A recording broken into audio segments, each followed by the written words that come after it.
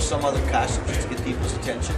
we were thinking about, remember you brought up about um, use or car dealerships and you mentioned the word gorilla, and that's how you started thinking about it. We thought about having a rat yep. to represent Governor Pawlenty, but we didn't do that. We, we thought better of that. And so, so tell me, uh, those of you who've been in the costume, how, um, what kind of commitment is wearing a, a costume in a warm space? Warm.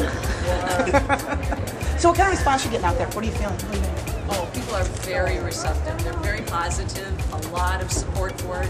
I think they just were looking for a way to express it.